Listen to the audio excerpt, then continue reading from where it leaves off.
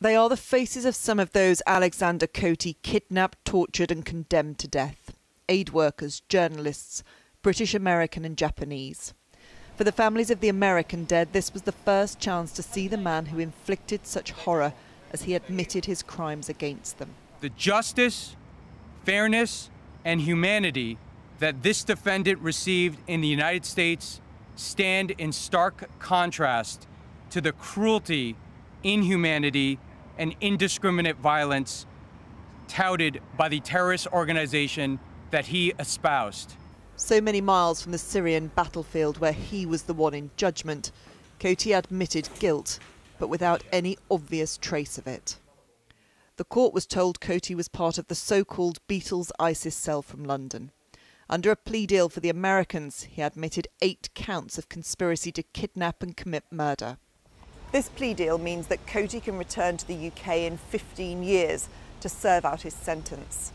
But for that to even be a possibility, he's had to agree to speak with the families who wish to speak to him, to explain how he kidnapped their relatives, brutalised them, and sent them to their deaths. James Foley was one of those killed.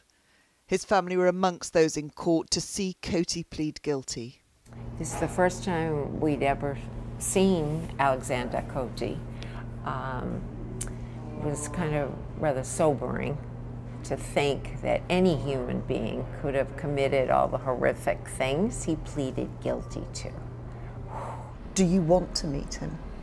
I think so. Because I, I really, I guess it's hard for me to understand anyone um, like Alexanda. And I do have some questions I'd like to ask of him, if I can, if I, if I can summon the courage to. Today, the daughter of David Haines, the murdered British hostage, once again pleaded for detail as to where her father's body is. That torment is shared by so many of these families as they consider whether to meet Kotey, a man who will be given a life sentence rather than the death sentence he placed on those they love. Emma Murphy, ITV News, in the United States.